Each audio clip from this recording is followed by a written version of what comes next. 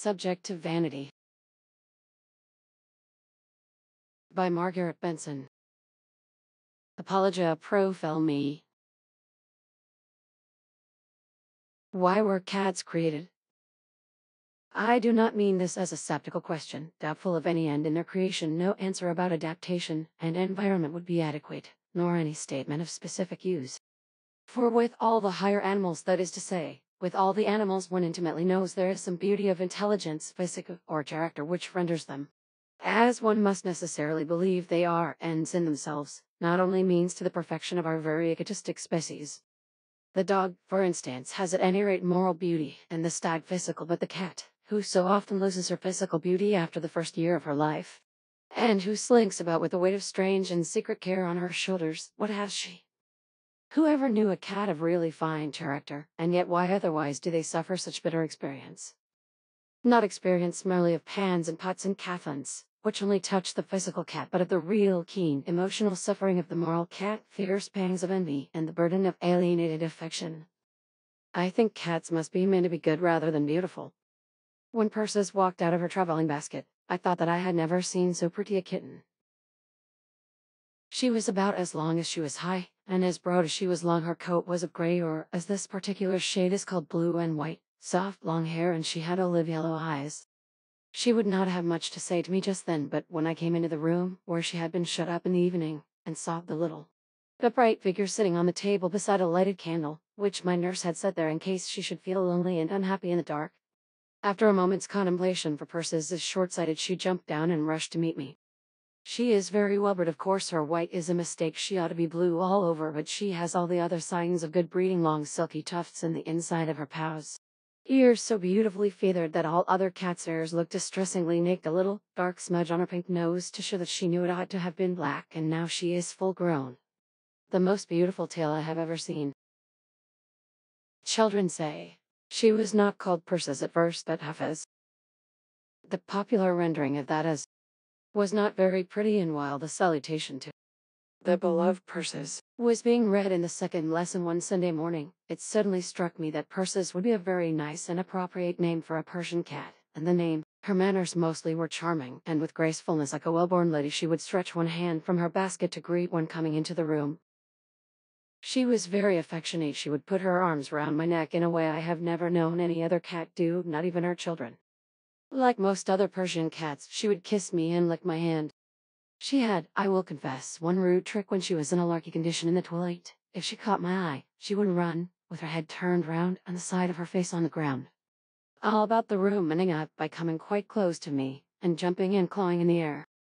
The position was ludicrous, her head twisted round and her eyes fixed on mine so that she could not see what was in front of her, and ran sometimes into legs of tables and chairs. Her nerves, too, in such a tense condition that if one startled her she would jump high into the air, and then flee into a corner. She always reminded one of the way in which a cockney street boy makes faces if you catch his eye. She was not always amiable, the one defect in her character was that she was liable to and would pass from play to anger on occasion without the slightest warning. She is the fiercest cat towards other animals that I have ever seen. While she was yet a tiny kitten, I brought up a large Summer Persian tom cat to paint. The tiny kitten chased this big creature round and round the room. If he got under a chair, she got on it, and reached down a little menacing white paw to slap his face. He submitted meekly until, in order to see what would happen at close quarters, I brought her quite near to him. She spit and swore at him, but thus brought to bay he knocked her over with a sounding box on each ear, and she fled under the table, where, with a tiny drop of blood on her face, she bemoaned herself and appealed for sympathy, the picture of a helpless, injured child. As for the other cat, once roast, he went on growling and spitting all morning. The only small quadruped I ever knew Persis not want to fight was a rabbit. Some children on the place had a tame rabbit which was very fond of cats. One day she met him out of doors. He saw her and came running to play with her. She looked with a horrified face for a moment, then turned and fled. She must have thought him a deformed sort of cat. Much as if children met a human being with huge pendant ears and an uncouth way of walking who wanted to come and play with them. Persis was very musical. If one whistled to her, she would come from any part of the room, creep up as near to one's face as she could, purr loudly, lick one's face in growing rapture. Then, if the whistling continued, she got overexcited and had to manifest excessive pleasure by biting. I am determined to tell a story which no one will believe, but which is nonetheless true. That three or four times she has been found standing on the music stool and making dabs at the keys with her forepaws, she, of course, had discovered before that a piano would make a sound if walked on, and she not unfrequently practiced in that manner, but these three or four times I looked up, being surprised at hearing the same note repeated, and found her standing as I have said. However, no one need believe that, and it is their own loss if they do not, and anyhow, now is a matter of ancient history, for Persis lost all care for the static part of life when she had a family to bring up. While she was still an independent lady, she used to sleep in my room, chiefly on my bed. It was a difficult matter to arrange at first, because I did not want the kitten to sleep on my face, which was her constant aspiration. Consequently, when I put out the light and settled to sleep, placing her firmly at the end of the bed, a loud purr was heard, and a little dark form proceeded to march up, stamping her paws on the counterpane and drawing them out in rapturous expectation of a pleasant evening. Finally, we compromised she was allowed to sleep halfway up, embracing my arm if she liked.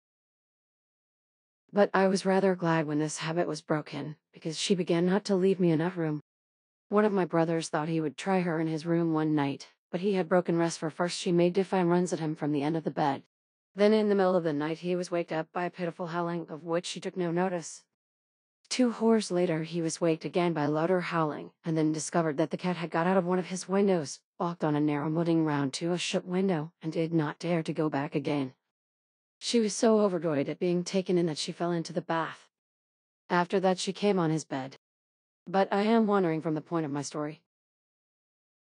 Before Persis Kittens came she had some friends, but no rivals.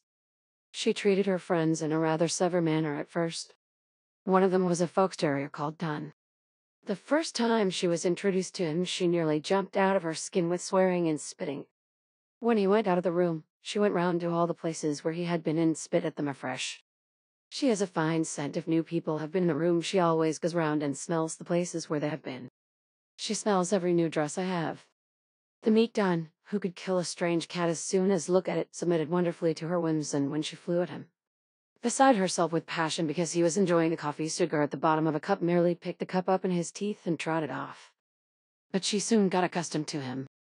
And then, distressed at his appearance, tried to lick the black spots off his back, used stealthily to wash the inside of his ears, ready always to rain a shower of blows on his nose with the tips of her paws, if he so much as turned round.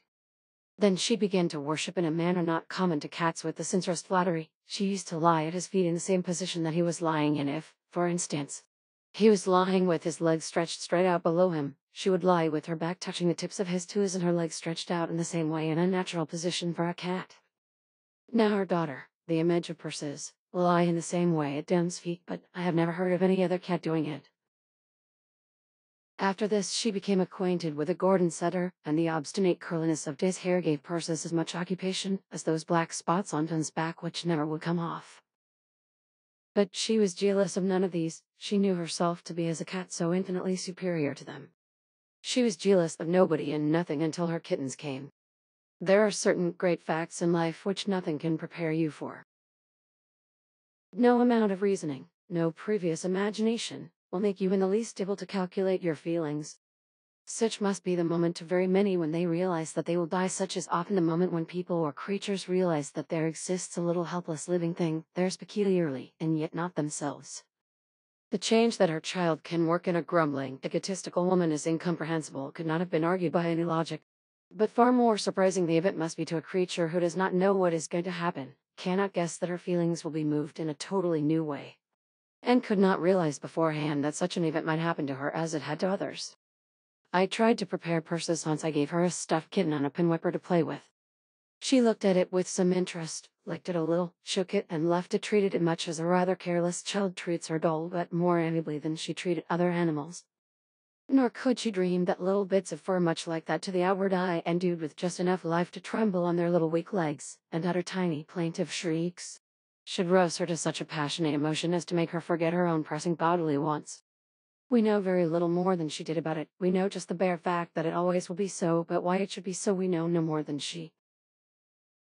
Who understands the miracle by which an utterly selfish creature, whose natural instinct is to hate all other animals, and, indeed, only to tolerate human beings because it can make use of them, should be made to know and feel, in a short 10 minutes space perhaps, an overpowering, passionate, protective love. One morning Persis did not feel very well, in sign whereof she showed a decided intention to occupy my bed. She was sent down to an empty bedroom while a hamper of hay was being prepared for her, but when her invalid couch was ready she was nowhere to be found. A search discovered finally that she had put herself to bed in the room already, under the counterpane. Still, she was thinking of nobody but herself. Later in the morning I visited her when three little helpless, shapeless, furry things were moving about her and Persis was not thinking of herself at all. One would not have believed an animal's expression could change so much the overwhelming surprise, the intense affection, were in her face as clearly as they could be in a human face. For the time her egotism had gone, she was not a cat, she was a mother. Formerly she had been shy of people, frightened of men now, as one after another came in to see her kittens she showed no fear, and, what was even more curious, no anger she merely purred in pride and entire confidence. They were wonderful kittens, too, quite blue, one like its mother. Their eyes were shut, their ears were flattened down over their faces, they were little bodies which breathed and fed and grew.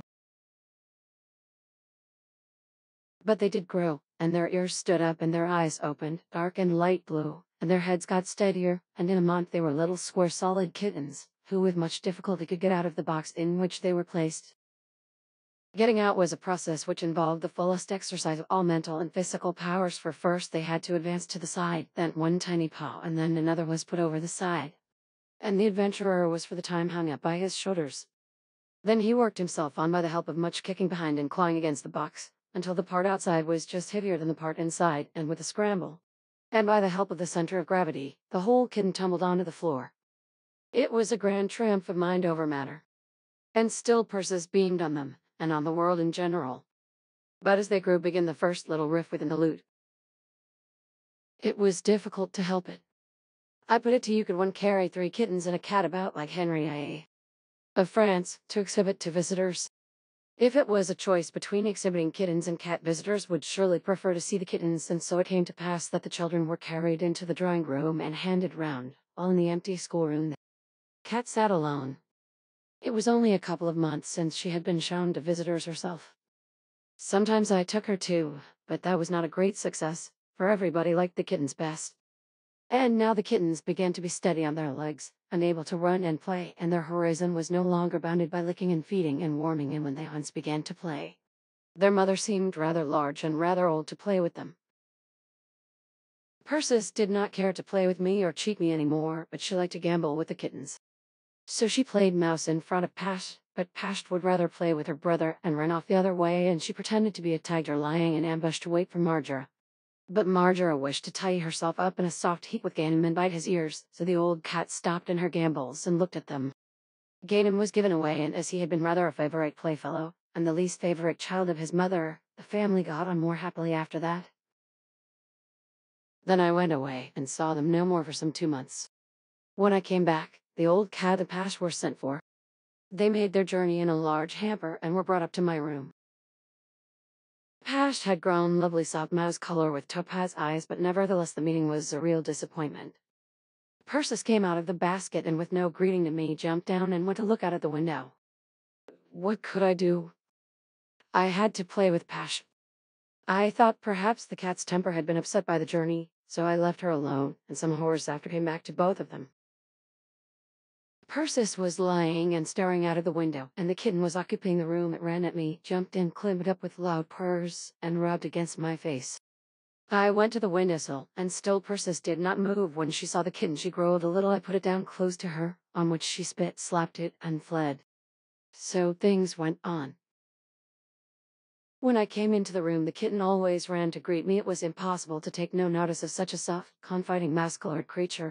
Yet all the while I was speaking to it, two great sullen green eyes were fixed on us, watching us round the room. If I came there to speak to the cat, she went quickly away. If the kitten approached her, she spit, and if it came nearer, hit out at it. Evidently the change had come in Persis from a kitten to a cat. She was a mere domestic cat, with a not very amiable temper. She cared no more for human beings and had arrived at the queer alienation from the young when they are grown up which comes to nearly all creatures she had had half a human soul once but she had fulfilled the animal functions and she was an animal again yet one or two symptoms seemed to belie this view once or twice coming into the room I greeted her first. Then she purred until the kitten came near, when she got up and left us hastily. But it was difficult to see why this sullenness should so perpetually prevail. She hardly ever forgot it. Her big green eyes had almost always that sullen, lowering, miserable expression. Now and then, indeed, when twilight came on, she rushed in and out of the room alternately to find the kitten and flying from it. But not the most unimaginative cat on earth can resist the excitement of the growing darkness, when the eyes flash out in amethyst and topaz and the pupils dilate with dramatic terror and eagerness. But twilight deepened into dark, and candles were lighted and fairylands stopped, and the legs of the tables and chairs ceased to be tree trunks in a jungle, and Persis came back to life in the schoolroom, and despair clouded back onto her brow. But the truth only began to dawn upon me one day. I took Persis into my own room quite alone, and suddenly the sullen expression vanished. I carried her in my arms, and she began to purr. I put her down, and she walked up and down on the counterpane. Stamping her paws and spreading her claws, Persis had all at once become a kin again. She licked my face and put two arms round my neck when I took her up. I brought her downstairs, thinking our old relations were reestablished. The kitten came near, and Persis walked hastily away from me and took no more notice of either of us. Then the kitten ailed and was sent away to be nursed, and with the curious, confused idea that creatures have, the mother felt a lack somewhere when the object of such strong emotion was removed, even though the emotion was only jealousy. She hunted for the kitten all afternoon. We found her in a part of the garden which she did not usually frequent, and she ran away with a sense of guilt when she saw us. But when evening came and she was in the room alone with me and there was no kitten, I was left in doubt no more as to what it was which was moving her. She squeezed herself in by me on the sofa, she kissed me and purred blissfully. And so it goes on. I have not had the heart to banish the kitten altogether, yet when she is there I can seldom get a purr or a look from the cat. One day I persuaded her to let me stroke her under the ears and the throat. This is almost like mesmerism to a cat, and if one can persuade them to let one begin, one can do almost anything with them. And so I was gradually bringing her to a happier state of mind, when the friendly kitten, perceiving that something sociable was going on, came up to share in it. They met face to face as Persis took turns up and down under my hand. They looked at each other for a moment, then she slapped the kitten in the face and fled. What am I to do? If I keep the kitten, I cannot prevent this jealousy. Persis lives in a condition of perpetual, jealous misery if she thinks the kitten is sent away, or that she is exclusively favored, then only does she emerge out of sullenness. And yet she is not really devoted to me, she is only a complete egoist and cannot be happy unless I am devoted to her. After all, am I not bound to her? Was she not once my sole and only cat, carried about, exhibited to company, hunted for if she got lost? And yet Pash is much fonder of me than Persis ever was. Pash will run after me, while Persis wishes to run away and be fetched back. Pash comes to meet me when I come into the room, crazed to be picked up, purrs as soon as I touch her, but when I do so, those green, miserable eyes watch me, and Persis will allow no caress which is not offered to her first. Clandestine correspondence. The last week has been an arduous one. I have had to chaperone Pash. Pash has experienced her first proposal. I suppose it is no wonder, considering her age, that she was fluttered, but I could wish that she had fixed her affections on anyone less vulgar and underbred. This was how I found it out. Pash had been for many days very eager to go into the garden. One morning we were playing croquet on the lawn, and I paid no attention to the kitten, until suddenly I looked up to see her lying on the path, her long thick hair fluffed out, her sweet mouse-colored cat's visage resting on the edge of the grass, her little chin rubbing against it, and her long squirrel tail lazily sweeping and thumping the gravel. At first I thought it was only flirtatiousness in general, an attempt to captivate the universe at large, when lo. Out of the laurels opposite to her flashed an ordinary, vulgar, ill-bred, short-haired tabby cat, who stood there for a moment, looked at me and disappeared. I was very much shocked, picked up Pash and shut her up in the schoolroom, when she instantly appeared on the windowsill and reproached me loudly. But of course I did not take it seriously and thought that they would both get over it. I must explain the position unfortunate in this respect of the rooms in which the cats and I live. It has four large windows looking on the lawn and the laurel bush is too high for a cat to jump down, but not too high for her to practice little whiles on the windowsill for the benefit of appreciative spectators below. Just on the left hand of the door is a long window, from which steps go down to the garden, and close by the steps is a large laurustinus, a most convenient place for ambushes and clandestine meetings. Opposite the schoolroom door again, there is another door opening onto a back staircase, whence one gets into kitchens, whose windows also give onto the lawn, and are usually open. My bedroom is above the schoolroom. On the evening when I had abruptly stopped Pash's flirtation, a noise arrested my attention as I was going to bed. It was the voice of a cat saying, You know what it means when a cat says that? He is paying compliments. The noise went on and on round the schoolroom end of the house until I went to sleep, but I heard no answer from Pash. Pash was hysterically affectionate when I saw her next morning, she said, and clung onto my dress and climbed up onto my shoulder and refused to leave me, and walked about over my letters when the ink was wet, and flapped her tail into my mouth. And altogether played the fool, and pretended that she had forgotten her vulgar suitor of the night before and I heard no serenades outside. But in the middle of the day I suddenly heard from my bedroom an extremely loud voice saying, Whoa, and looking down saw Pash standing on the windowsill of the schoolroom. I don't know whether she said it or not, for as soon as she saw me she looked up and took to the more ordinary and ladylike expression of a general desire to go out in the sunshine. Several times in the day I heard it again, but as soon as I looked round, Pash turned an innocent face to me and said, In the evening the gentleman began to woo again. I knew it was the suitor this time as Pash was safely shut up.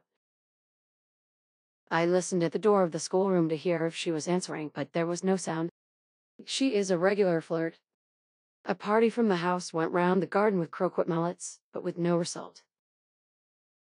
Next morning it became too clear that Pash was encouraging her suitor. He rushed away from the laurustinus bush as I came out, and she was sitting on the windowsill. I took her out for a short time in the garden under strict supervision but she would do nothing but flop into graceful attitudes on the lawn.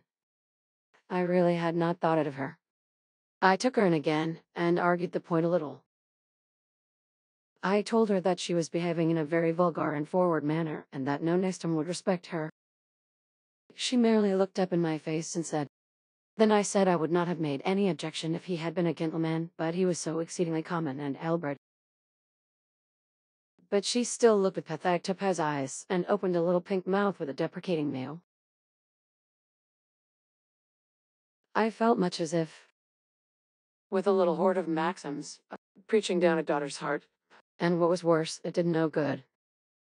Every time the door was opened, however much Pash was pretending to be devoted to me, she suddenly found she had urgent business in the kitchen and flew downstairs and when I knowing the nature of the little flirt, did not go down to the kitchen at all, but straight out of the long window onto the lawn and found her there. She looked up with the most innocent face possible. Yes, after all, I see you enjoy the sunshine as much as I do. When, in spite of kicks and struggles, I carried her in, she never once said, but merely gave vent to the emphatic mew, which means, I don't want to go in. I took her an airing in my arms that day, but it was extremely exhausting and I covered my dress with long hair. And all that night the cat mewed. Another exploring party went from the house with shovel and tongs. I couldn't stand it any longer. Pash was sent away to a very strict boarding school system at the farm. A week after, when the strange cat had ceased to howl round the house, she came back again, but as soon as the schoolroom door was left ajar, the urgent business in the kitchen claimed her, and Pash disappeared for many hours. Poor little Pash, were you disappointed that no one met you in the garden to flirt with, or wanted to bounce out of the laurel bushes and exhibit his masculine beauty before you? Or, after all, is your little heart as hard as I think it, and you prefer a nice warm room, a lawn to romp on, someone in whose lap to lie, who will gently ruffle your throat and ears, do you really? Deep down in your heart, prefer these beyond all lovers whatever?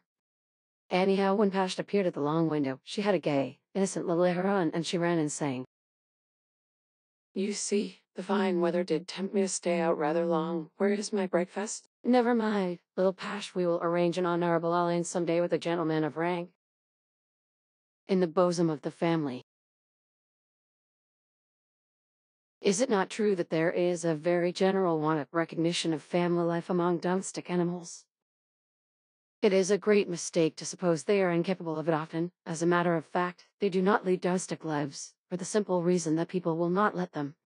If, for instance, you won't keep a whole family of cats, how can you expect them to develop domestic affections?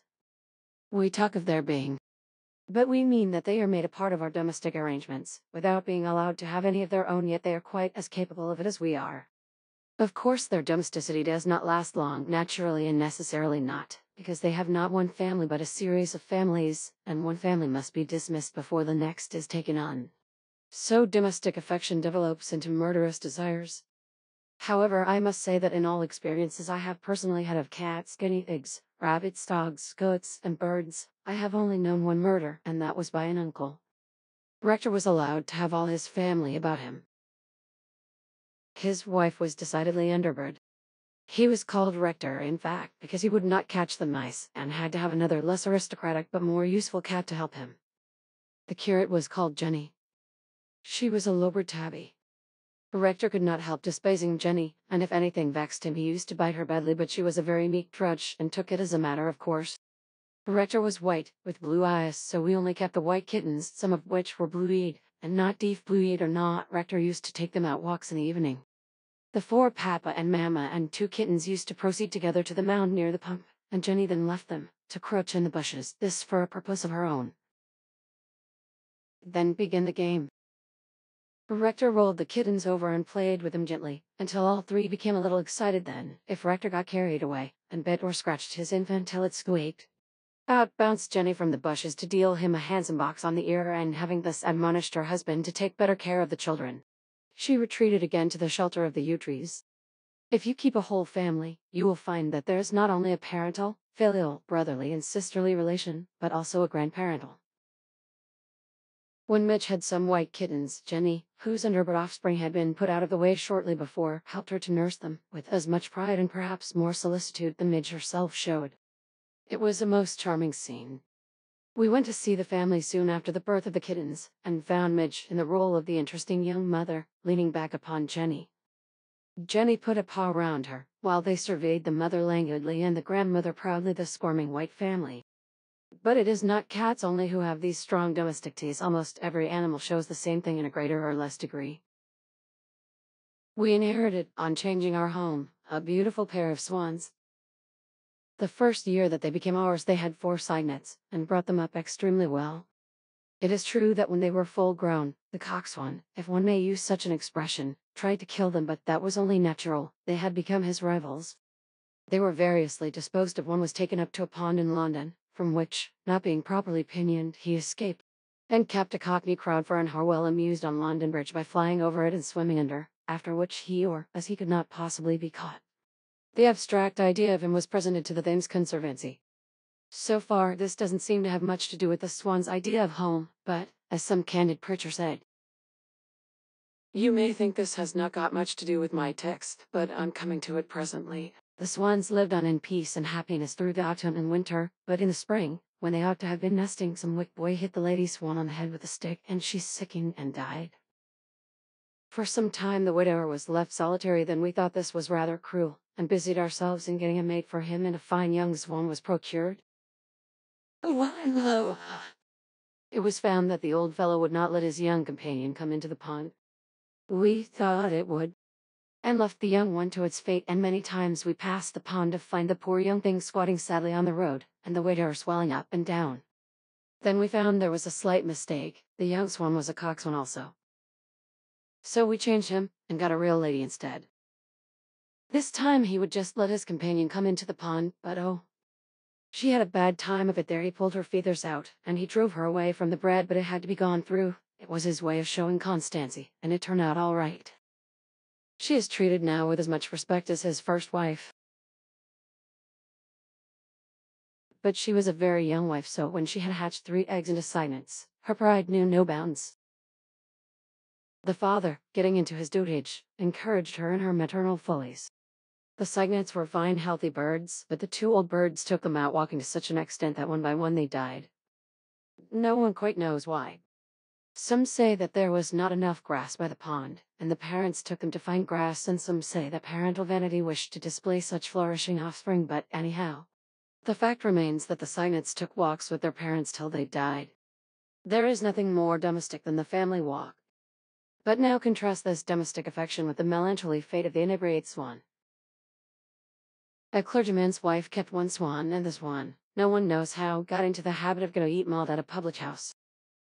If he had done this within bounds, it would not have mattered, but he got regularly intoxicated and every evening reeled homewards. His mistress tried to reform him, but to no purpose, and she tried to shut him up. But he got out, and she used to meet him coming home with rolling, uncertain step and hanging head.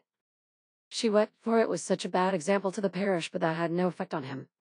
At last, one evening, he was run over and killed while reeling home in a state of intoxication. Now, how far more melancholy is such an end than that of the three infants killed by family affection?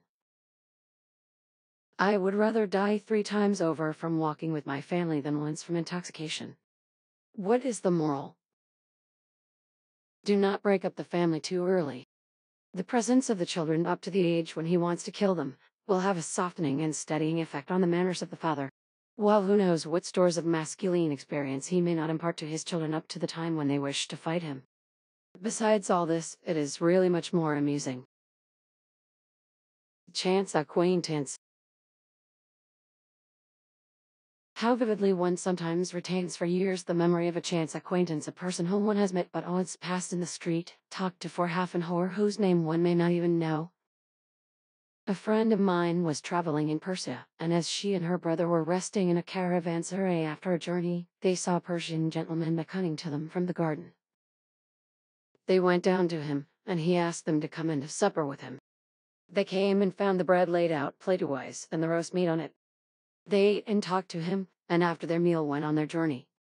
They never asked for nor heard his name, nor he theirs. They will never meet again, but that Persian gentleman will be as vivid to them until the day of their death as a friend of years. Such memory of a mere passing chance acquaintance is not confined to human beings.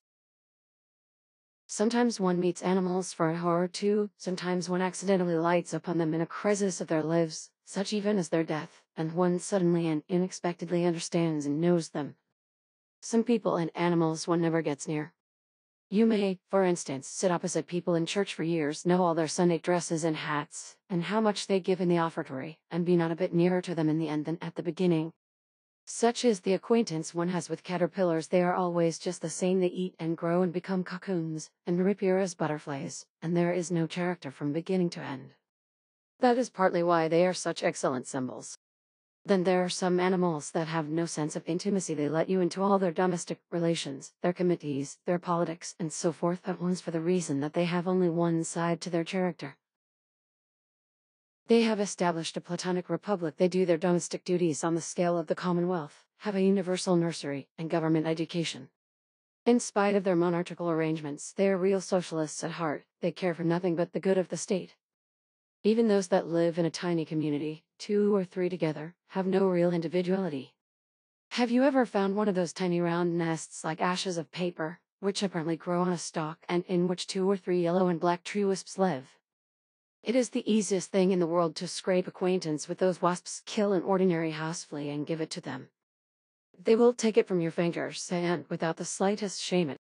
in public, will roll it into a neat, hard black ball, crushing up legs and wings alike, and stow it away inside the nest. But the want of intimacy characteristic of many insects is not characteristic of insects as such. I once attended a grasshopper crisis. There was nothing professional about the grasshoppers. They did not not spend themselves in leaps to reach the sun. They did not think the least bit in the world about the sun. They were merely private individuals courting. Grasshoppers courting is an organized affair. I saw it in Switzerland on a soft, sunny afternoon, when the total population was divided between the Roman Catholic Church on the right and the English Church on the left, and the steps of the hotel between the two. As I dawdled along by a bank of bilberry just turning red, the grasshoppers were singing loud among the stalks of heather. Suddenly I was aware that they were not singing aimlessly and jumping without purpose, but that they were intimately engaged. It was like the old fairy story, when a child falls asleep on a bank and wakes to find himself surrounded by fairies intent on preparation for the marriage of the king. The large limp ladies were sprawling about ungracefully, and in front sat their small, spry gentlemen singing away. Here was a green gentleman serenading a brown lady, and I wondered at his taste. Presently she got up and ran away. Clearly that was part of the drama, it was the genuine, Instinct of avoiding a plain answer on purpose to provoke pursuit for the gentleman does not jump, but runs after her to bring her back. Oh, a green lady is seen crossing the path, also coyly escaping from a suitor, and the faithless swain is captivated all in a moment by the green charms and deserts his brunette to pursue her. Further on, astonishing sight is a young ladies' school just 14 or 15 green and brown ladies, shy and awkward, scrambling down the bank and all talking together. I never saw such courting before or since, but I shall never lose the feeling of intimacy. For I know now that grasshoppers are not always little machines arranged with the greatest amount of muscle for the smallest amount of weight, or wound up to trill on in the sunshine. As mechanically as a watch ticks, or even created to be a burden, but they are tiny creatures full of emotion and insect loves, putting their best energy into their whirring song to claim the admiration of the languid, lovely creatures that lie lazily listening. But sometimes one arrives at a sudden personal relation to a wild creature, too often ended abruptly by its escape or death, and its kinsfolk are never afterwards to one as little as before. One has regarded it as a member of a class henceforward one regards the class as composed of individuals possessed of strong personal desires, needs, emotions, not merely obeying what we call meaning thereby the mechanical impulse to eat grub, make nests, care for young, to take an extreme instance, perhaps you think that moles are altogether uninteresting, merely existing for the sake of lightening the soil and destroying the wireworm, and, in case of undue increase, fit to make a cap for the mole catcher, and a little skeleton to swing from a tree. But perhaps someday you will see in the stubble, after the hay is cut, a little black form running confusedly round and round catch it, and hold in your hands the soft velvet-coated body. Feel the funny groping snout pushing through your fingers, on the chance however different their touches from the damp, delicious earth that it will be able to find some place where it may grab a hole and escape realize that you might make a pet of this small, soft thing. And then please recognize its wild desire for liberty and let it go. But there are some animals which, although usually recognized as seem to have no fear whatever, except when they are being chased once they are in the hands of a human being they are completely self-possessed. A friend of mine sat in a field when the hay was being carried and saw a little field mouse playing about. She pursued and nearly caught it, but it finally escaped. She came back to where she had been sitting to fetch her umbrella, and under it was found another little field mouse asleep, which she caught without difficulty, carried back, and put into a box with holes in it. She brought him in to tea that afternoon, and even at this, his first meal, he sat up like a kangaroo on his long hind legs, and ate bread and milk out of a spoon. He absorbed alarming quantities of it, fell instantly asleep, woke up after a few minutes and ate a great deal more but the next morning the poor little beast was found gasping apparently dying and when his box was opened he would not run away.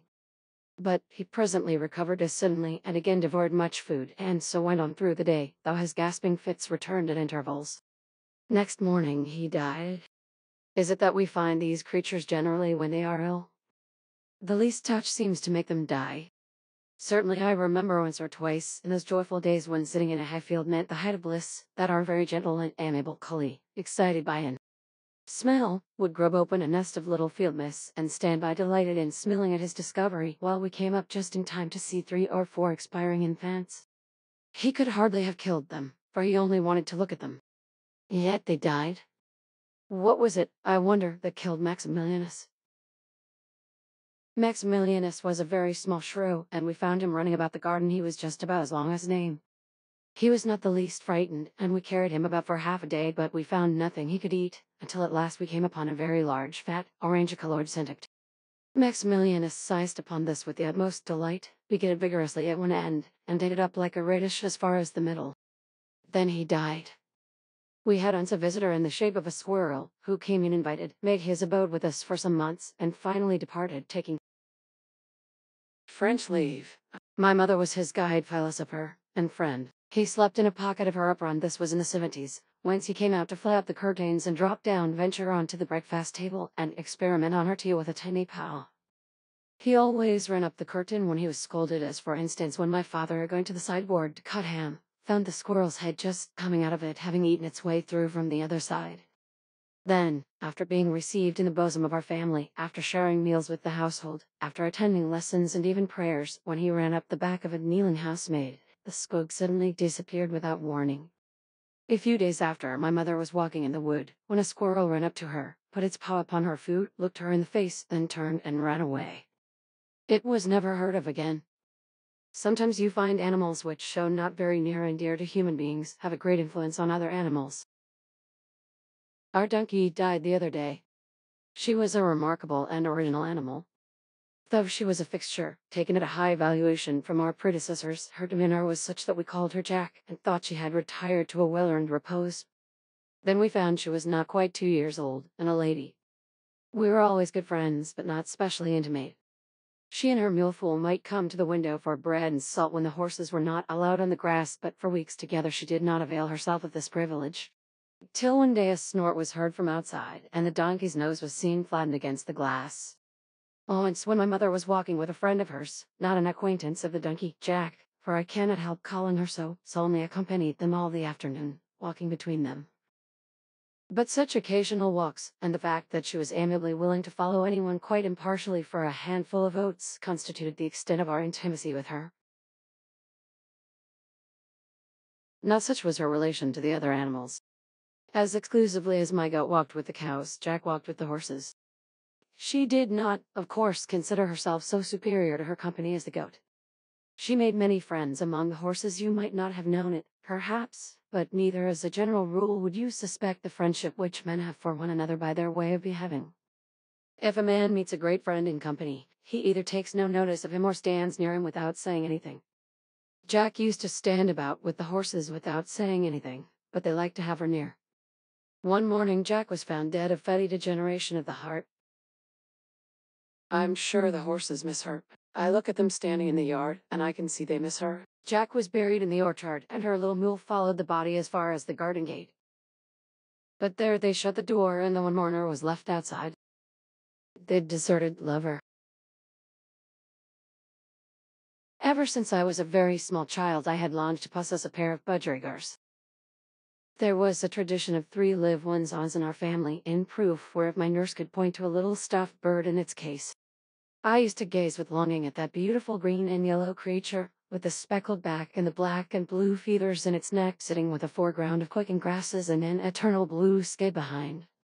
There existed also, but rarely seen, a little cardboard box containing a few of these same mysteriously beautiful blue and yellow and green feathers, with here and there a long strong tail or wing quill. Yes, there had been budgerigars among us once there were even real live ones now in the possession of this happy Italian woman who sit at the street corners. But for me, while I was still a child, they were inmates of that imaginary paradise of unattainable things, wherein might be found little wax cages of birds, and the fluffy hollow ducks which live in confectioners' shops and are sold for ninepence. After I was grown up, a friend gave me one of these ducks. I have it still, and the halo still surrounds it. When I was grown up, too, someone gave me a pair of budgerigars, and there followed a tragedy which was not bargained for and price paid. They came down from London in a tiny cage, a traveling cage. Budgerigars do not mind lack of room, it makes it all the easier for them to sit quite close, as if they were glued together. They were lovely little things, with their gray beaks wonderfully sharp and strong those beaks are, as I know to my cost, but they could use them gently. And you would see one turn with a soft croon to put straight a ruffled feather on its mate's head. The little gentleman had caught a cold, not much of a cold at first. He only panted slightly as he sat near the little lady and ruffled his feathers, but she cheered him up and smoothed the feathers down, and they sat side by side and looked at the world with little meaningless great eyes. Their new large cage was a great excitement, and it was immense fun for them to walk over the top, using their beak as a third leg, and that the most reliable and their spirits ran so high that they began to shriek and musically at each other when they found themselves at opposite corners of the cage. I am afraid we were not as careful as we ought to have been with the little gentleman. They were so funny and pretty that they were carried from room to room, and the cage must have been in a draught, for the little gentleman began to puff and breathe rather hard. And his feathers were persistently ruffled, and the little lady could not smooth them down any more, even if she had tried. Sympathy to the ailing, the feeble, and the weak is a very modern virtue strange, a civilization shows us what an unprogressive virtue it is. The lame and the blind were hated of David's soul. Animals and savages and men of early civilization agree with David. Now and then you find a dog which will bring a broken-legged friend to the hospital, a cat which brings its half-starved neighbor to eat its own dinner, souls of philanthropists on pilgrimage. Dead or yet to be, but the stag's instinct of goring the sickly ones and the wolf's of tearing the wounded are the ruling instincts. The Lady Budgerigar took David's side in the matter. She did not wish to bite her spouse, or peck him, or pull his feathers out, but he began to be hated for soul. One day she would not let him sit by her on the perch, he could hardly get up to it, yet he would have done so for the sake of sitting close to her. For the sake of putting a stray feather straight in her ladyship's top note, of feeling the little perigee bill travelling softly over his head with a croon of affection, but she would not have it. She drove him away from her. So he sat on the lower perch, or on the bottom of the cage. He did not scream or croon, he just puffed his feathers out and panted. Did David repent in respect of the blind and lame when he said, My lovers and friends hast thou put away from me? What strange rebellion against fate moved in the soul of the little budgerigar? What necessity of finding a lonely place to die in? What sad desire of escaping from the mate who would no longer care for him? It is all very well to talk of instinct and dismiss the case, but how do you suppose the abstract idea of loneliness and death nerved the failing wings and feet to seek the door of the cage, made him squeeze through the door? Such a little way open, how did it attract him across the room and through the half-open door, away away as far as he could go from his faithless love? Did this abstract idea act on the little budgerigar like a machine, and move and nerve the wings for such flight? Or was there distress in the heart and anguish in the little animal soul, when he found himself ill at ease and ailing, deserted and repulsed? It is a work of skill and time to induce a healthy budgerigar to leave its cage, but this quixotic spirit found his way out of the cage for himself, and found his way out of the room, and he must have flown until he dropped dead. For we found a little heap of gay green and yellow feathers in the passage, stone cold, and Steffi had been dead some hours. Budgerigars are very sociable birds, they cannot live alone. The little dead bird could not.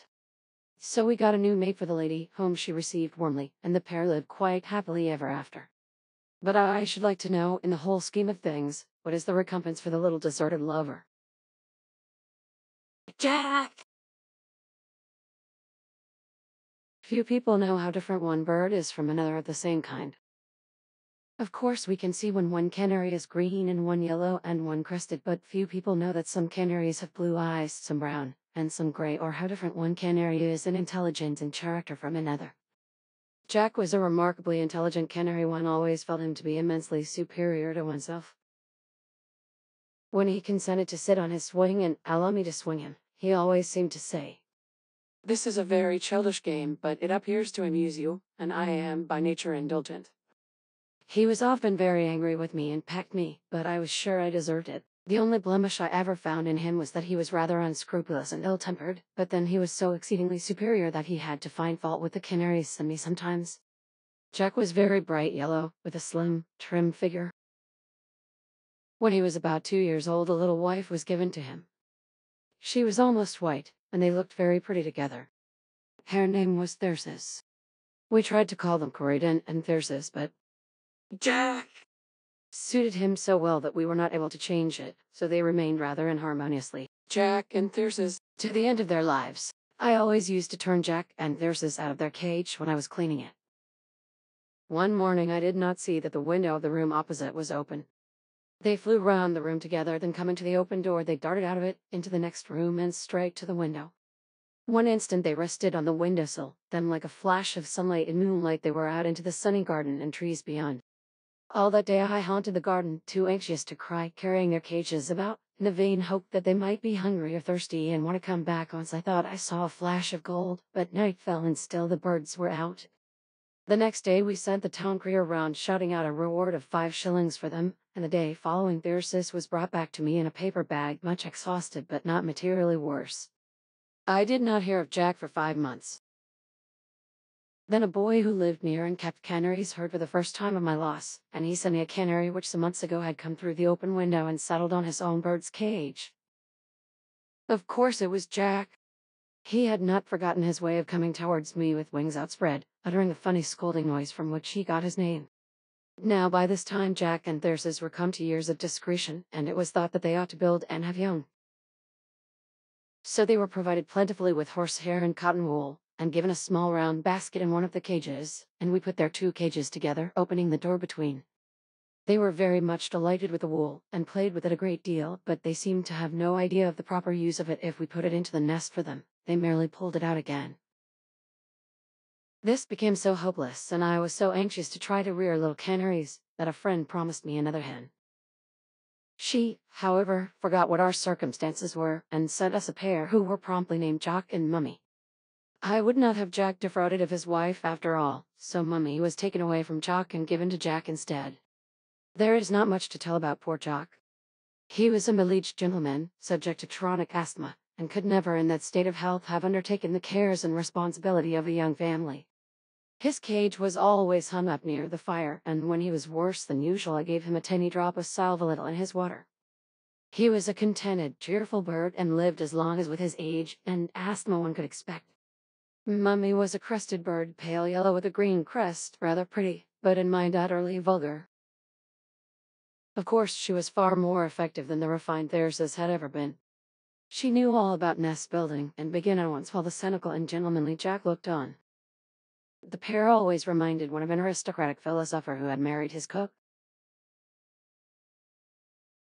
But one must give Mummy the whole credit of the nest. She put the most and hair and wool into it. She squatted herself down in it, turned round, fluffed herself out to make it hard and round and compact and at intervals when to keep up her strength by taking her in the shape of hemp seed. Then she laid eggs quite satisfactorily, and they came out quite satisfactorily, and one by one all the nestlings died not satisfactorily. On examining the little corpses, we found that they had died of starvation. Jack was found guilty at the inquest, for a first principle of domestic life among canaries is that the father feeds the birds while they are very young. What was the reason, then, that he had so disgracefully neglected his duty of feeding them, while his devoted wife sat on the nest to keep them warm? There must be something more than grandeur and cynicism to make a gentleman allow his children to die of starvation. At last we found out the reason Jack was flirting with his first love. Thyrsis cage was hung in Jack's sight, and instead of feeding his infant children, or attending to them in any way, he clung to the corner of his cage all day and serenaded Thyrsis. We put Thyrsis out of his sight Mummy laid a second set of eggs, and Jack attended to them as if he had done it all his life. It is true that he threw the eldest out of the nest onto the floor of the cage, but there is great excuse for that. A gentleman of refined and fastidious feelings must have had a dreadful shock when he first saw an unfledged canary and realized that that repulsive creature was his progeny. With all his cynicism, he could never have imagined that anything so loathsome existed. I don't see what else he could have done. I should have done it myself in his place. From whatever point you look at them, unfledged canaries are altogether and absolutely hideous. Their brownish pink skin is scantily covered with hairs. Little bits of flesh wave helplessly about where their wings and legs are going to be. They have two large dark swellings where their eyes are going to be. And the only thing that is defined about them is a huge mouth which is almost always open and yelling. I had to pick the canary up from the bottom of the cage, and I still owe Jack a grudge for it, though I cannot in justice blame him. Little canaries, when they are fledged, are as pretty as before they are frightful.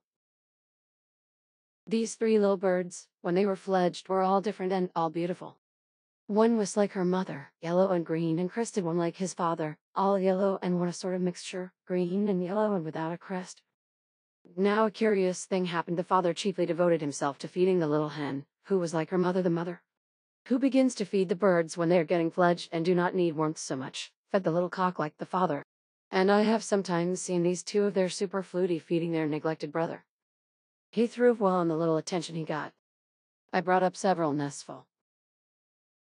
We had Tweedledum and Tweedledee. Tweedledee's name was subsequently changed to Jewel by a little cousin to whom I gave it, and who considered it a priceless treasure, and Daffodil, the neglected nondescript and Vicary and Remenick called after the Wallachian country place of some friends of ours and others whose names I forget. Remenick was the only one I kept. He was the last hatched and was called until he died at the mature age of eight years. There was one wonderful chicken who did not live to have a name. He was very precocious and died young. This was how it happened the misguided mummy laid an egg in January, and in consequence, as I have always believed, of the weather being so much too cold when it was hatched. The bird could never get fledged when it had already begun to be active and of a roving disposition, it still had no feathers on. Even sprouting wing feathers might have broken its fall a little, on the many occasions when it tried to get out of the nest and fell on its back on the bottom of the cage. One day it had a fall more serious than usual, until evening it sat on the edge of its water glass with its head hanging down and its neck apparently dislocated. In the morning I found it dead in the water glass. So I do not know to this day which accident it died of. But meanwhile a sudden stirring of domestic instincts came to Thyrsis, and she was stimulated to rival Mummy's nest building.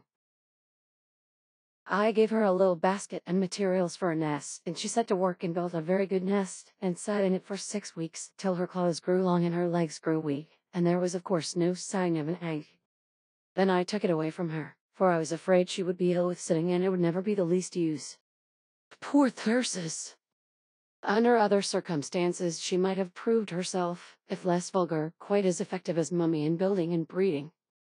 When I had had her about seven or eight years she died quite suddenly. Was it of a broken heart? Had Jack's too late attention stirred in her the emotion of love, as he clung to the corner of his cage singing to her and leaving his babies to starve? There is just one more cannery I must mention, for it had a curious name in history. It was called after one of my relations. That is to say, it was called so by myself and my brothers, for it was supposed to be called Arthur by my mother and Mer Sidgwick by the outside world. Uncle Arthur was Jack's brother, but Jack had a monopoly of the intelligence of the family. Uncle Arthur had been half starved when he first came to me, and it had affected his intellect. Perhaps I had better mention that it was not from any supposed similarity in this respect that he was named after my uncle. He was idiotic in strange ways, for instance, I have known him try to bathe in a draught, from which he got inflammation of the lungs. For a long time also, I found it was quite safe to take him out of doors without clipping his wings, for he was too foolish to know how to fly. One day, however, he astonished me by suddenly flying up into the top of a tree, which proved that his apparent powerlessness was the result of idiocy for when he happened, as thus at intervals. To hit upon the right way of using his wings, he could fly quite well, though in a rather curious manner and with a pigeon-like noise. He never seemed to want to build nests, he never even serenaded any of the henbirds of Jack's family. He had a very happy, limited life. When he was already getting old, I gave him away. I am sorry to say that his death was compassed accidentally by his new mistress. She was so much disgusted with him because he would not wash he had probably forgotten how to, as she washed him one day herself with soap and flannel. Uncle Arthur died of it. Jack outlived all the rest. Towards the end of Mummy's life all illusion about her passed away he got irritated and used to pull feathers out of her, though he tried to make up by much affection between times. But it was not Mummy's fault. She was frankly vulgar from the beginning, and Jack, with his keen perception of character, ought to have known it. A regular flirt. Gypsy was so called because he was bought off a gypsy cart. A friend of mine was attracted by his wonderful voice and gave a half crown for him. Others were attracted by his voice too, with results more fatal. He was in his first year when I had him, and it was not until the second year that his feathers and his fascination attained their full proportions. Gypsy was a mule, a cross between a goldfinch and canary. His back was dark green, he had a yellowish breast with dark splashes on it, black wing feathers, and two patches on his cheeks the color of gooseberry fool and he had a reddish golden crest, which he could raise a little when he was excited. The next summer was beautiful weather at Oxford, and I took Gypsy there when I went to college, though I cannot say that he did study. If I read, he got up a quarrel with the leaves of the book, and flew at them as I turned them over. If I wrote, he fell into a passion with my pen, and ran across the wet ink on my paper to peck it. And his love affairs were very distracting. Gypsy's cage used to be put all day on the windowsill, and I began after a time to be aware that he was liable to be seized by sudden agitations, when he fluttered backwards and forwards in his cage, with a quick, excited note. A few days more and the cause of this agitation became apparent for a little goldfinch, and goldfinch I suppose came and sat upon the windowsill, the intimacy rapidly improved. The goldfinch would come into the room and sit on Gypsy's cage. It made friends with a siskin and a bullfinch in the next room, and would roost in an empty cage there at night. Gypsy's wing feathers were clipped so that I could let him walk about out of doors. When I took him into the garden, he called to his friend, and the goldfinch dropped down by his side to take a walk with him. Other goldfinches came sometimes, but only one constantly and fearlessly when I was there. One day I remember Gypsy walking down the path in front of me accompanied by three friends. But it was not long before there was a signal of danger. The house we were in was having some rooms added onto it, and there were workmen about. One day when I was sitting in my room and Gypsy was having it at home, there was a little sound outside, and a light stick was gently shoved towards my windowsill. Of course I remonstrated, and of course I was told by the workmen that they had done it entirely for my sake, because they thought that I should like to have the bird in a cage. I could have caught the bird ten times over if I had wished it. But this, I fear, must after all have been the end of the lovelorn bird for it disappeared suddenly, and I never saw it again. For a long time Gypsy had no society but mine and the canaries. He did not care for canaries, and he was mostly in a passion with me. But after some time a pair of goldfinches was given to us, much attached to each other and otherwise uninteresting. One day I put Gypsy in their cage to see what would happen. In three minutes a complete change had been worked in that happy home. Gypsy was sitting with the little lady on her perch, whispering sweet nothings into her ear, while her disconsolate spouse sat by himself on the perch below, meditating pistols for two and coffee for one. I will do Gypsy the justice to say that he admired himself quite as much as anyone else admired him. When he was held to the looking glass, he did not fight his reflection as animals do. He fell deeply in love with it and whispered to it in a tiny, sweet, wooing voice until it was obscured by a little circle of damp wraith in the glass. Someone may ask why, if Gypsy was so universally attractive and so extremely susceptible, I did not provide him with a wife to himself.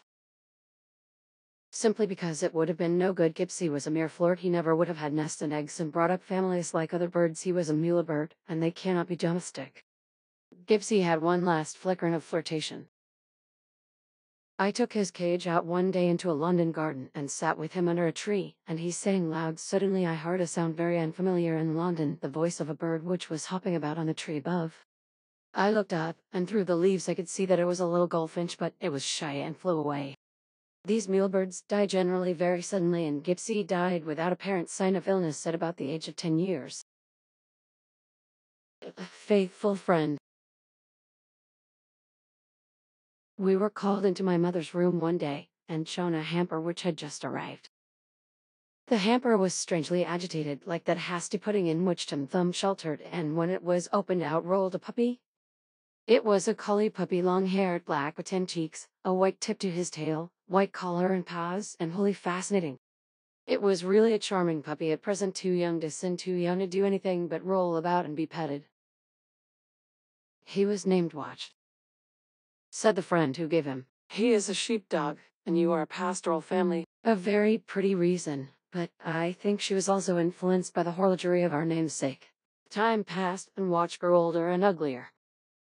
His neck lengthened until his ears looked like ridiculous ornaments on the top of it, his legs grew long and lanky, his coat grew thin, and he grew naughty.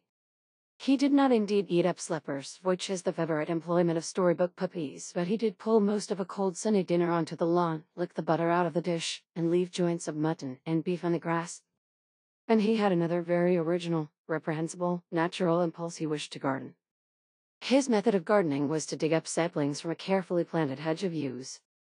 He knew it was wrong, but he could not help it. When he was seen thus employed, he fled back and sheltered himself in his stable.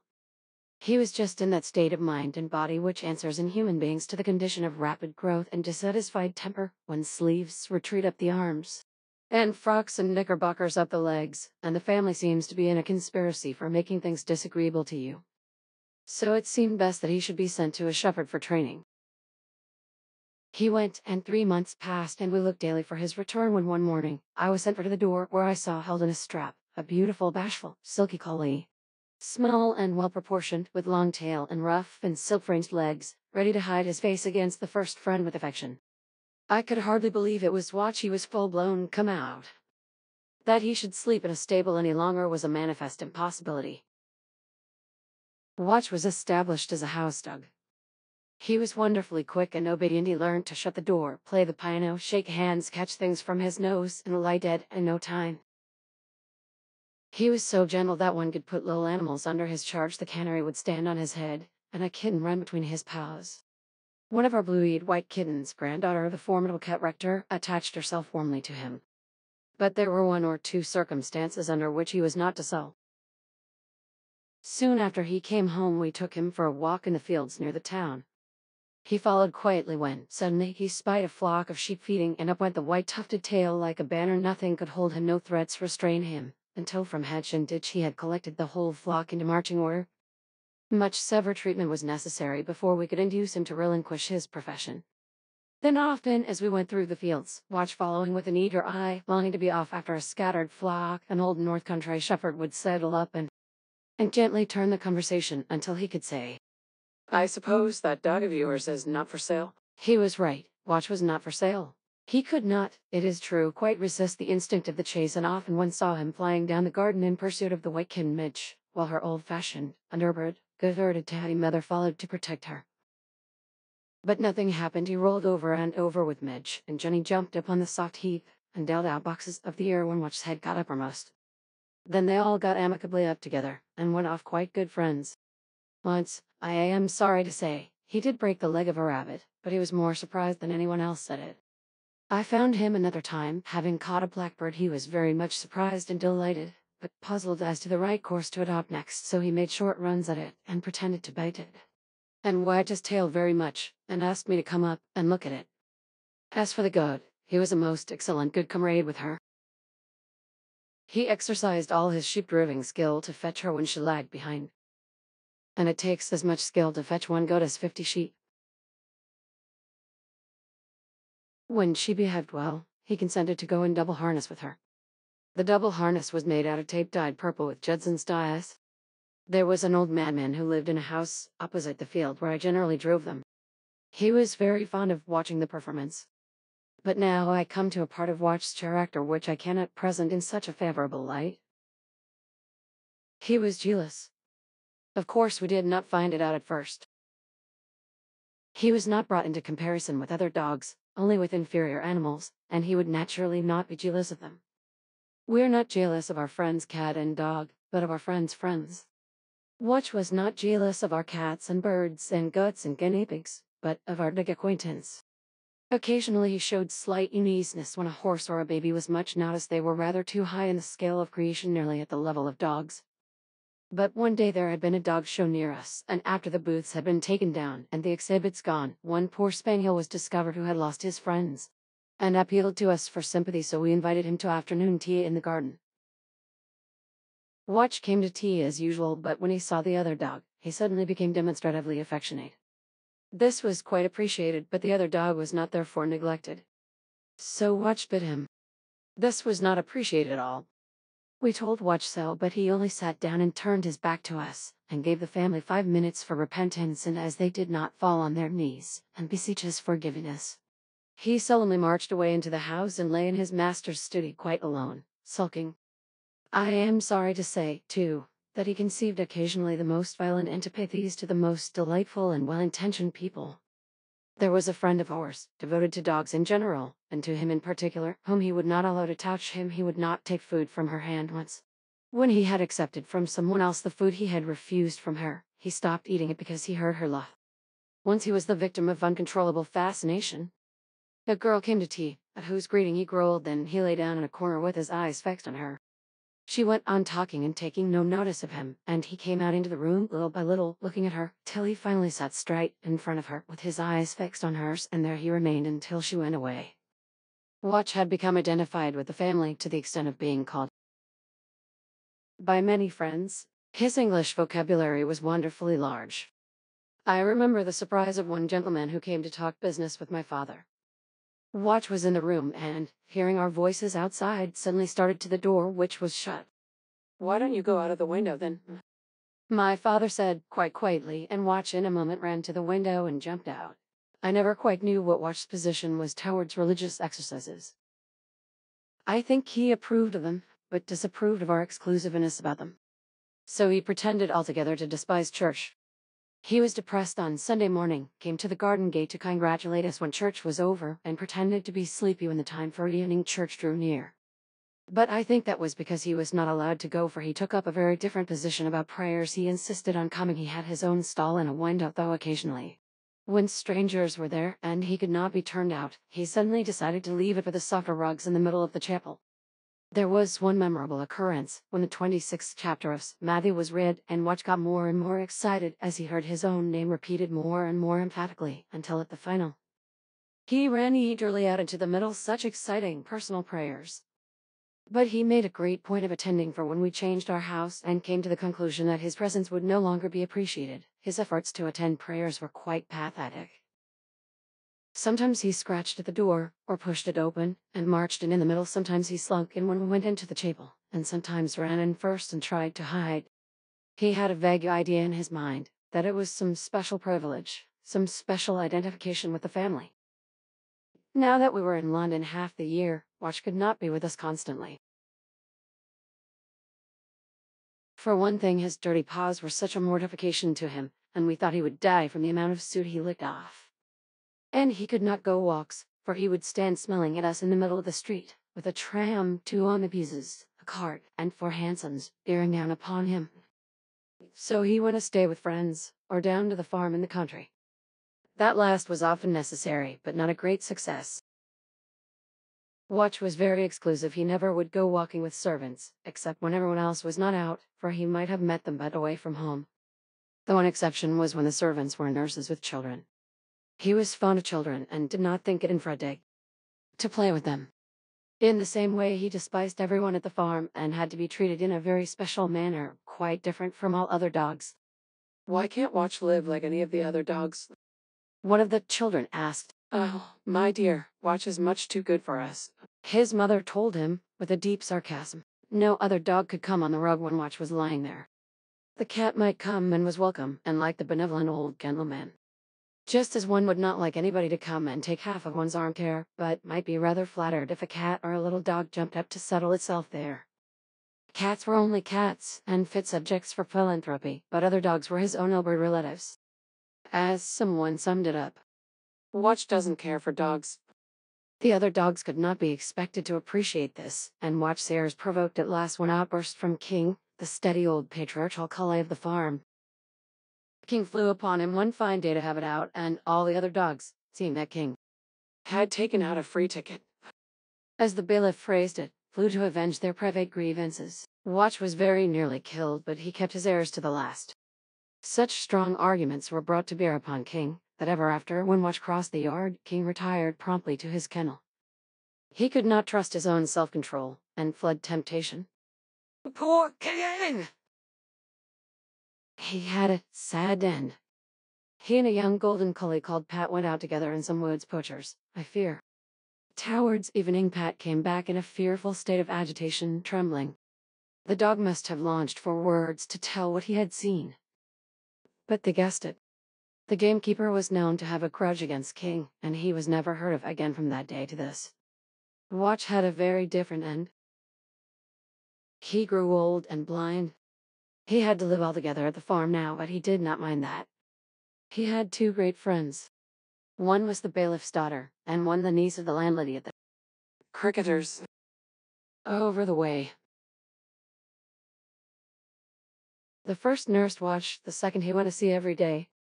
But the niece got married, and Watch never crossed the road again, but transferred all his affection to Caddy. He was nearly blind now, quite deaf, and very rheumatic. He had not much emotion left, it soon worried him. I remember while he was still at the house, that when we all came home at the end of the holidays in two detachments, he greeted the first comers effusively, and then retired under the sofa. And took no notice of the second batch until they had been in the house about an hour then, his emotions being rested, he came out and greeted them too with affection. But two loves remained to the end his love for Katie and his love for milk pudding, and Katie generally gave him the milk pudding. He hobbled about after her as long as he could and sat in her room. Once they thought him dying. He lay on Kitty's bed, and Katie was away was coming back that evening. His head lay on the pillow and his eyes were closed and they thought him dead, when Katie came upstairs and spoke to him and the life came back to him, and she fed him, and he lived a few days more. Then he died, this time with Katie close to him. He is buried by the goldfish pond under a cedar, and he has a tombstone and an epitaph. Hessen Vigil. And the other day I passed by, and freshly gathered daisies were lying on it. I think Katie must have put them there. Kids of the goats. They were Zoe and Martian as Capello, but she was no kid, and Capricorn and his brother and Chat and Tan. I did not possess them all at the same time. In fact, I never had more than three at one time, and that was because Marsh and his Capello had twins. Zulu was the first. When she came to us, she was a little white kid, just taken from her mother. She was very pretty, with a dark mark down her back and two little tassels of hair on her neck. But, as I say, she was only just taken from her mother, and the first evening was full of much trouble and care, for we could not find anything she would eat, and we thought she would be starved. She would not be fed, moreover, with milk, and we were in despair until we thought of trying if she would eat the tender sprouts of May. It was early spring, and for a day or so all her meals were taken in our arms as we held her up to nibble at the hawthorn hedge. But she soon grew less fastidious, and as goats do, would eat anything, from garden flowers, laurel leaves, and cabbages down to paper and bread. She was tethered in the field, and this was very necessary, for if she was free she would follow us everywhere, would go walks with us out of doors, and would come into the house after us. The chief difficulty with kids is superabundant affection. They will pitifully when one leaves them alone, and cannot be persuaded that their presence is not always desirable. Some friends of ours they were Quakers too used to dress up a stick with a waterproof and had to keep their kid company. It satisfied her completely but was it quite consistent with the friend's idea of truth? So nearly had a bad accident once in consequence of her fondness for coming into the house. I was sitting on the steps at the door and playing with her, when suddenly she bounced away from me and ran into the drawing room. I pursued her, and she, knowing she was wrong, ran farther, saw a way of escape, and jumped straight through a large plate glass window. I thought she would be cut to pieces, and in agonies rushed outside, where I found her making the most of her opportunities by devouring our best rose trees under the window. Zilla lived with us for a year, then I was kept indoors by a bad cold and throat, and I heard that the kid was sympathizing with me by having a bad throat also. But Alice, poor Zoe, her throat was much worse than mine, and though we strapped a little blanket on her back to keep her warm, and though the gardener and the common poured gruel down her throat, when she could hardly swallow, she got thinner and weaker, and one morning she died. I sobbed audibly all through prayers that morning. Then a friend of mine told me that some cousins of hers were anxious to part with a goat they had, and Marchioness Capello, otherwise called Marcap, arrived. She was not at all like so she was a large, dull, elderly, brown and white goat. She did not want to make friends at all she chiefly wanted to eat. But there was one great advantage about her, for a few weeks after I had her she gave birth to two little twin billy goats, two fluffy black and white creatures with huge legs. Marcap was, like so, feathered in the field, and it was supposed that filial affection would keep the kids near her. The kids had a fine time in consequence. One morning, one heard a rattling over the roof of the nursery and found the kids were playing King of the Castle on the housetop. Another time, they came skipping out of a yard where building was going on, covered with lime to the tops of their legs. And for some little time, we were terribly afraid that the smallest kid would lose his eyesight, as he had splashed lime up into his eyes, and that they both would come out of it with skinny, hairless legs. A procession, of my nurse holding a cup of milk and water, myself and my youngest brother, who was too naughty to be left alone, could be seen crossing the field three times a day to bathe the kids' eyes. When the kids were old enough to do without their mother, we gave Marcap away. I did not mind parting with Marcap. I never should have got fond of her, for she had no idea of intimacy. But to part with a kid was a different matter. It took us a long time to decide that it would be better to keep the biggest and strongest kid Capricorn, and we gave away the little one. Capricorn proved just a little more warlike than it is quite convenient for a kid to be if you're in the habit of taking it out for walks.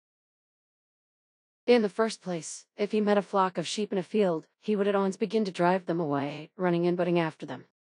In the second place, if he met cows, he would invariably have a pitched battle with them, unless he was dragged away by main force. I have seen him in the middle of a ring of cows knocked down by them, and getting up to butt them again. Thirdly, if he met a donkey, even in a cart, he would go for it which sometimes caused the drivers of the cart to swerve. Lastly, if he met children, he would try to eye them by standing on his hind legs. His wickedness gradually developed with his growth. Before he was grown up, he was a very affectionate kid. Once, when I turned back at a walk, the rest of my family had the greatest difficulty in inducing Capricorn to go with them. He got on very well with our wise collie. Watch was useful in fetching him up, if he lagged behind in a walk to carry out some of his evil designs. I had a little cart for Capricorn too, made him pull up stones for a rockery we were making this was a good outlet for his energies, and he had less time to be wicked. But he finally got too fierce for us to keep him any longer. If I was running down a hill by his side he would try to hook me with his horns, and he was not at all to be trusted with children. I gave him away reluctantly, and it was some consolation to hear that he nearly killed his new master, who came upon him suddenly in the dark. Since then I found out that it was not individual wickedness, but, so to speak, class wickedness, and that it is rarely safe to keep a billy goat when he grows up. Then for some time I had no kid. After a while a lady near who kept goats gave me two kids. These were very pretty kids, one was quite white, the other fawn color, and very graceful. They would follow me ever, but as I could not keep two chat, the white one, was given away. It was considerably easier to take ten walks than it had been to take Capricorn, for ten did not want to fight every beast or child she met. Watch was useful in fetching her as he had been with Capricorn. Long afterwards, when the acquaintanceship between them was a thing of the past to say, would bring her hurrying up to us. Ten was the only one of my goats who ever learned a trick, but I taught her to shake hands in exchange for leaves or oats.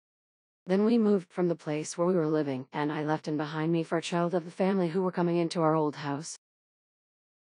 I heard no more of her for a year, and then they wrote to me to say that Tin was pining and they wished that I would send for her. So she came up by train, and the first moment she saw me, she remembered me, and we shook hands. Tin is still alive. On misty summer mornings, one sees her pass the windows heading a herd of cows. She is much too proud to walk with sheep, and though she will condescend to go with cows, she keeps herself to herself. Never talks to any of them, but preserves a proud and solitary position.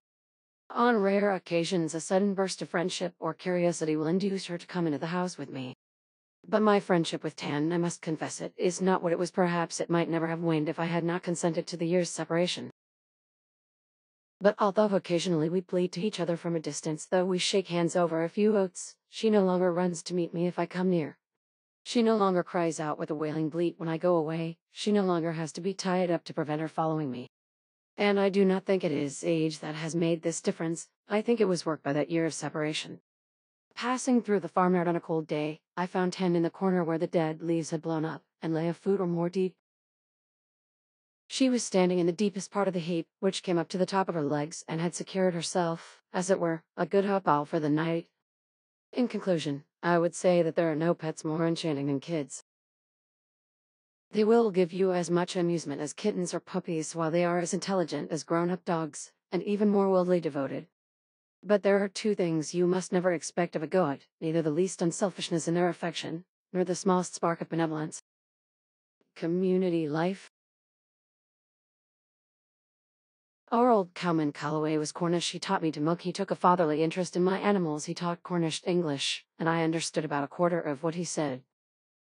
He had a wife who worked in the house of a neighbor of ours, and a very elegant daughter.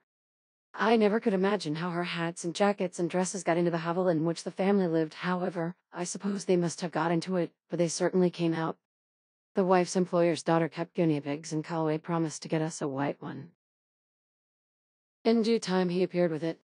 But to our delight, when the box was opened, out came two little white creatures with shining red eyes, not weak bluish pink eyes, but real good red ones like little jewels.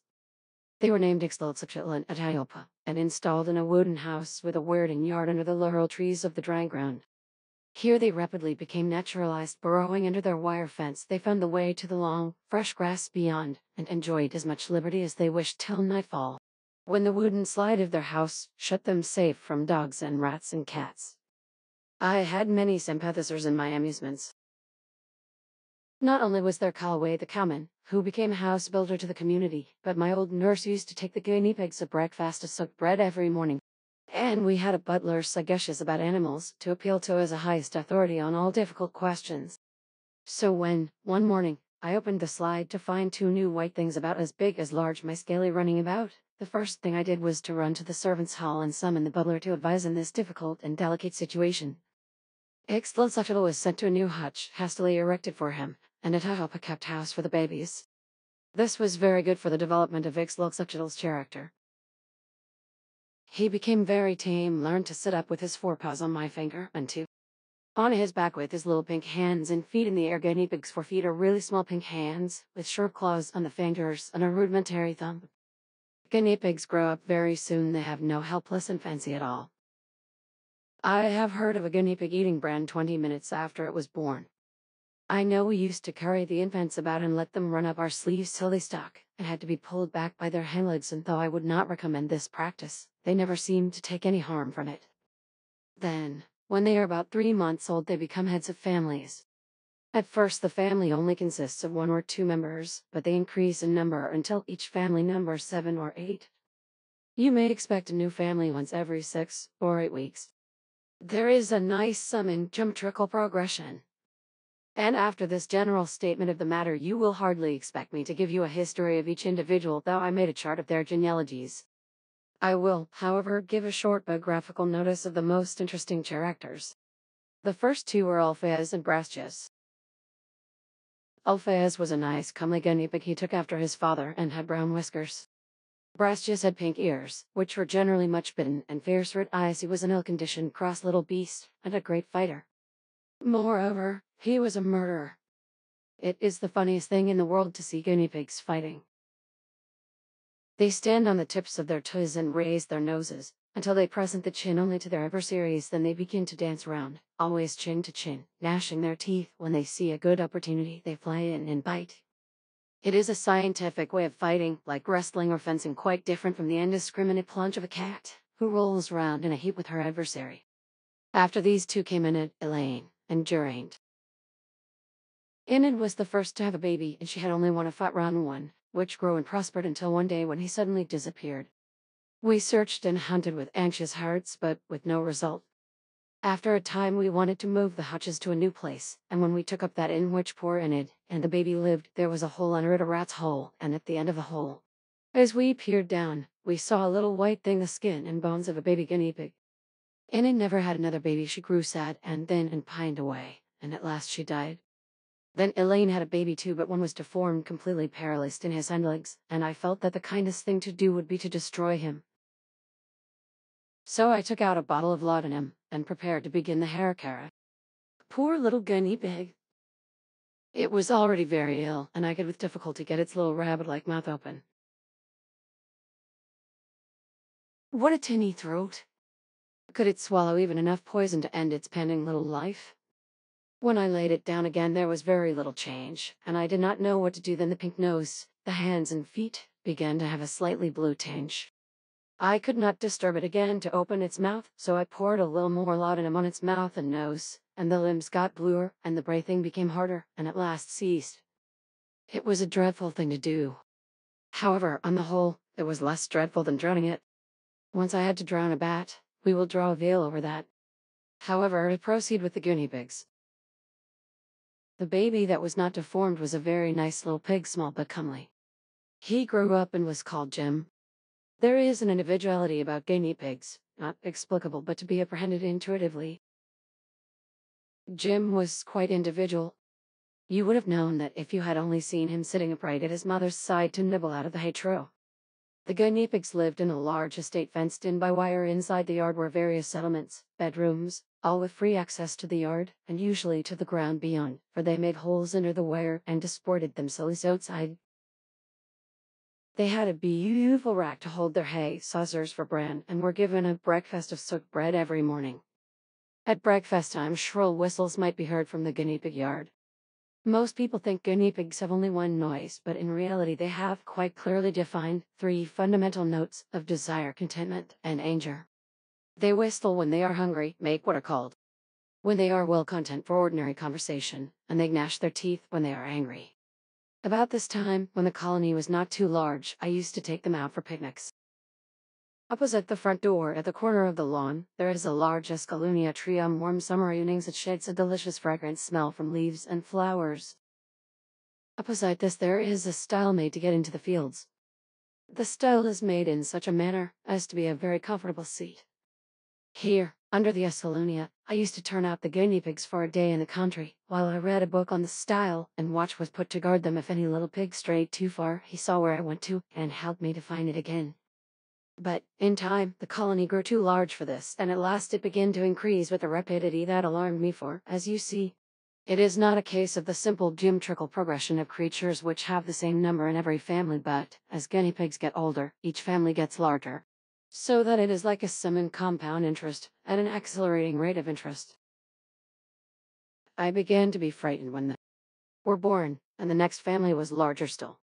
In fact, they would have eaten us out of garden and farm if it had not been for what political economists call violent checks. These violent checks were kidnapping, nepoticide, and massacre. Kidnapping was the first check.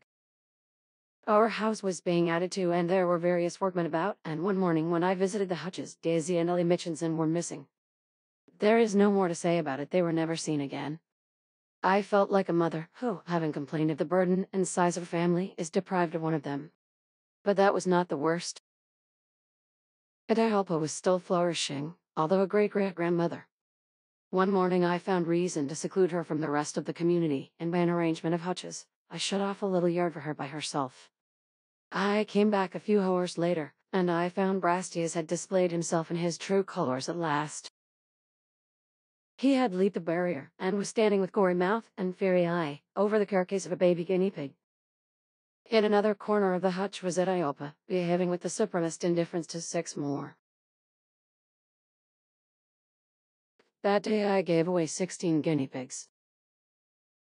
But I believe that we should have had a repetition at Bishop Hatto if it had not been for the last check, namely massacre. We were overrun with rats, and rat catchers were sent for. One morning, two men came up with their dogs. The men were looking at the rat holes and arranging a plan of campaign when suddenly they found that the dogs were not with them. Across the wall which separated the cow stables and haystacks from the garden and guinea pig yard, they heard a doleful noise. They ran round and found that the dogs had been doing their duty nobly and all the guinea pigs but two lay dead on the ground. The victims were buried in a large grave, and my brother found a suitable slate and wrote a Latin epitaph on it. He put it up as a headstone and enjoyed the proceeding very much. But I did not enjoy it. I had not the heart to keep guinea pigs anymore. I gave away the two survivors, and the hutches motored away, and cucumbers grew over the yard, and only the genealogy and the tombstone were left as memorials of that very large family with the white coats and jeweled eyes. Finished Solomon. King Solomon was journeying through a thirsty land, sand beneath his feet, sand around as far as a man could see, above the pitiless blue sky. No tree could grow here, and no rock was there to cast its shadow on the sand. What shall shield me from the fury of this sun? Then was heard the sound of light wings beating the air, for all creatures knew the voice of the words of King Solomon, and there came through the air a cloud of hoopoes. And they spread their barred wings and closed them together, when a wing, and they shielded King Solomon. So when the toilsome journey was over, the king called the hoopoes, and said, O hoopoes, what will ye that I give you for your service done to me this day? And the hoopoes said, O king, give us crowns of gold. And the king gave the hoopoes crowns of pure gold. But men hunted the hoopoes through the length and breadth of the land, and they killed them for the sake of their golden crowns. Then the hoopoes cried to King Solomon.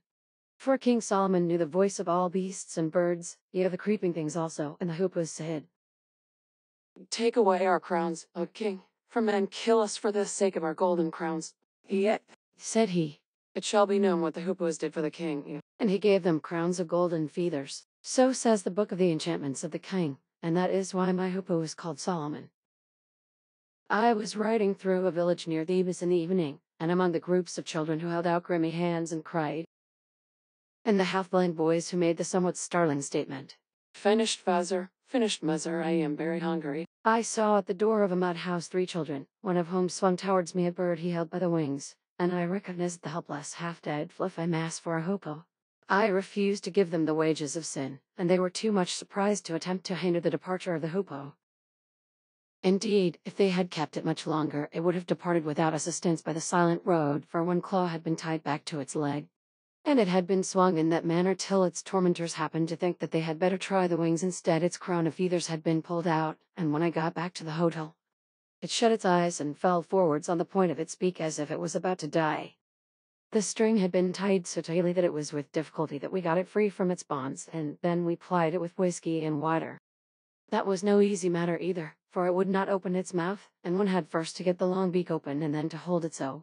While from a feather dipped in the refreshing beverage a drop trickled down the pink throat, then the bill was shut. And one watched to see if the feathers of the throat would ruffle and give sign that the drop was passing down. The method succeeded, for presently the little forked Tanya was shot out to suck up the liquid, the little brown eyes opened, and the hoopoe, taking in the situation, hurried into the corner of the windowsill, and supposed that he was hiding himself by laying his long bill up the wall. It would certainly be necessary to provide the hoopoe with a habitation, were he only the guest of a day, so a crate which had contained pottery was found, its straw was arranged nestwise, and the bird was bestowed in it much to its own satisfaction. But the diet was a problem. Its natural food was live insects. I went so far as to kill a house flea, but it was a very disgusting process, and the fly was not at all well received. Moreover, I was not sure whether the hoopoe was of an age to receive, shall I say, peptonized food from his parents, or whether he preferred the raw material. But as the best compromise, including the carnivorous and the more leptinous element, I decided on hard-boiled egg that had to be administered in the same way as the whiskey, with drops of water to help it to run down. After this, I put the hoopoe into the crate for the night. I frankly confess that I expected to find a stiff little body there in the morning, but instead I saw a bright brown eye fixed upon me, a smooth, compact, the crownless little hoopoe sitting in the straw. If the hoopoe was going to live, other things became necessary first and foremost, a name. The name suited him exactly. From the time that he was called Solomon, he became Solomon. We never spoke of him as the hoopoe indeed, it is with great difficulty that I have avoided so far using his name. Now I have told you when and why he was named henceforth then, he is Solomon. But, secondly, Solomon must have exercise and fresh animal food. It would be better, both for the sake of digestion and economy of time, if the two could be combined, and I spend most of my time in effecting the combination in one of the garden beds. The beds in the hotel garden are excellently convenient for feeding and exercising half-fledged hoopoes. They are lowered three or four inches below the level of the paths, for the purposes of irrigation. Thus when, once a week, the water is turned in, the beds become a series of pools, until the water has gradually soaked away through the rich black mud, Further, the beds are surrounded with a bushy little plant, so that when Solomon tried to spring over the edge and escape me, his wings were not strong enough for the purpose. He sprawled on the bushy plant, wings spread and legs kicking, and was easily captured. But it was Sunday, and the herd drew towards church time. Solomon must go home and be fed before I went to church. Accordingly, I went to catch him, but there was one thing I had forgotten. At the corner of the bed was a drain through which the irrigation was effected. Quick as thought, Solomon ran in there, and was out of arm's length in a minute. What was to be done? The bell was already ringing to church decent and godly people, with their prayer books in their hands, were walking down the garden path, and there was I plunging round the drain in search of an ungrateful, half-fledged, disgrown hoopoe. I dared not leave him there, to be the prey of the numerous and ravenous hawks and crows. But suddenly, as a deus ex machina, Mahmoud the gardener hove in sight, so I called to Mahmoud, and Mahmoud called to Ibrahim and Ibrahim brought a dry palm leaf. And we put it in at the opposite end of the drain and made a very terrible shaking noise in the inside with it, and there hurried out a very long beak. Supported by a very small bird at the end of it, and Solomon was captured in time for church. When I came back from church, Solomon's crate was empty. We trod carefully over the room for fear of squashing him flat. Like a botanical specimen, we looked under the sofa, under the chairs, and Solomon was not there. Then a little scuffling noise on the balcony attracted our attention, and there was Solomon with a guilty look in his face. We lined the inside of his crate with stiff newspaper. But when I came back from lunch, I saw a ridiculous silhouette far up the half-lighted passage. There again was Solomon. He had carried on mining operations on the paper during lunch and had escaped again. Another crate with narrower bars had to be procured. Of course he instantly put his head through and got it fixed, and I had to seize him by the beak and push him back. Now, by all the laws of animal literature, Solomon ought to have been devoted to me by this time. If he had studied the whole duty of birds, he would have found out that he must wake me at dawn. I cannot feel sure that I should have appreciated that. That he must flutter his wings with joy and chirp when I came into the room, even if he did not feel equal to opening his little bill and pouring forth a grateful song to Hoopoe is sing that he must follow me round the room, that he must eat out of my hand, that he must beat his breast against the bars of his cage when I went away. Solomon did none of these things. He shut his beak tightly when I wished to feed him. He pecked at me when I tried to open it. He ran away when I attempted to catch him. He struggled when I had got him.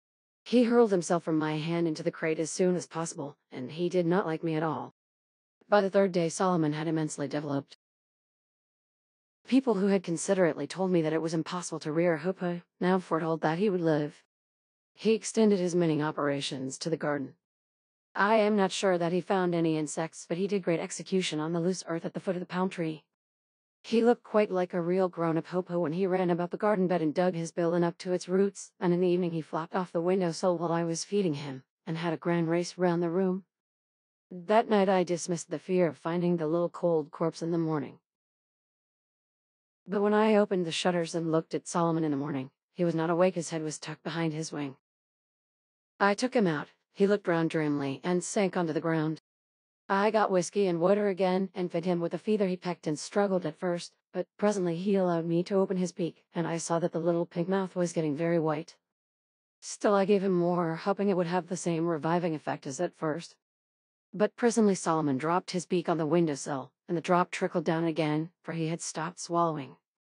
He laid his head down and stretched out his little black claws and hafed gently once or twice and no more. Finished Solomon. Morrison and Gibb Printers, Edinburgh. Transcriber's note.